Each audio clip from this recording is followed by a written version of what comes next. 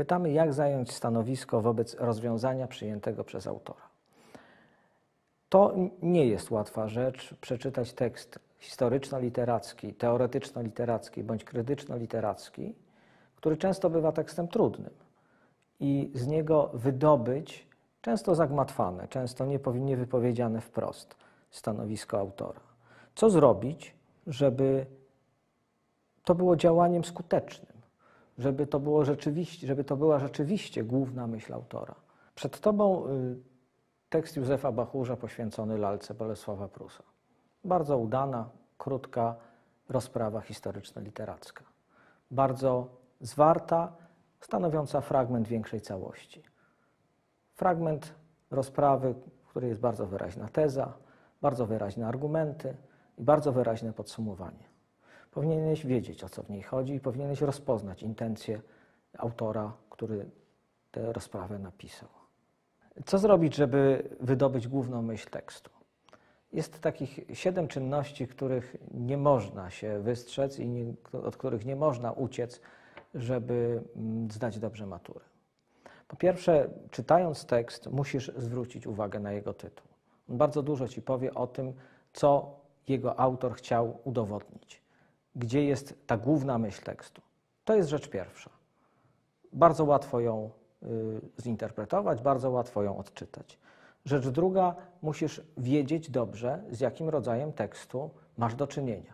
Czy jest to tekst historyczno-literacki, który opisuje pewną rzeczywistość historyczno-literacką, czyli pewną rzeczywistość tekstową, czy to jest tekst krytyczno-literacki, który jest nastawiony na wartościowanie, czy to jest tekst teoretyczno-literacki, który jest nastawiony na strukturę tekstu, na jego budowę. Trzecia rzecz, odszukaj najważniejszą myśl. Odszukaj tę myśl, która wydaje ci się, że jest najbardziej istotna, ta, przez którą autor chce przykuć naszą uwagę. Pamiętaj o jednym, żeby notować, robić notatki na marginesach, zaznaczaj, co jest dla ciebie istotne.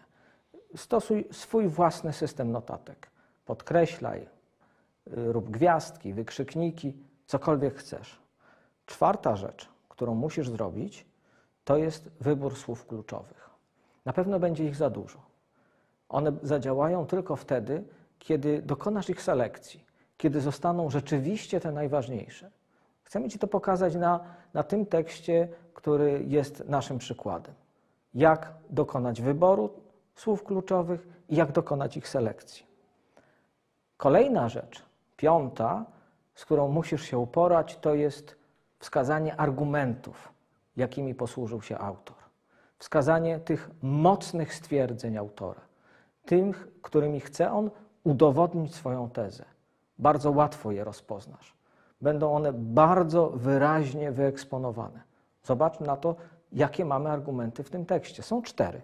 Cztery zasadnicze argumenty, które pozwalają udowodnić tezę postawioną przez autora. Kolejna rzecz, zwróć uwagę na przykłady literackie. W tekście, który omawiamy, pojawi się i Norwid, pojawi się Mickiewicz i pojawią się jeszcze inne teksty kultury. Pojawi się również Gombrowicz. Powinieneś go znać, ponieważ jest to lektura obowiązkowa. Ferdydurkę jest lekturą dla ciebie obowiązkową. Te inne teksty kultury, do których odwołuje się autor, one naprowadzą cię na główną myśl, którą chce wyrazić autor. I rzecz ostatnia, spójrz na wnioski. Dobrze skonstruowana wypowiedź zawsze wymaga wniosków. Zawsze te wnioski są w nią wpisane. One są po prostu niezbędne. Zobacz, jakie wnioski autor wysnuł.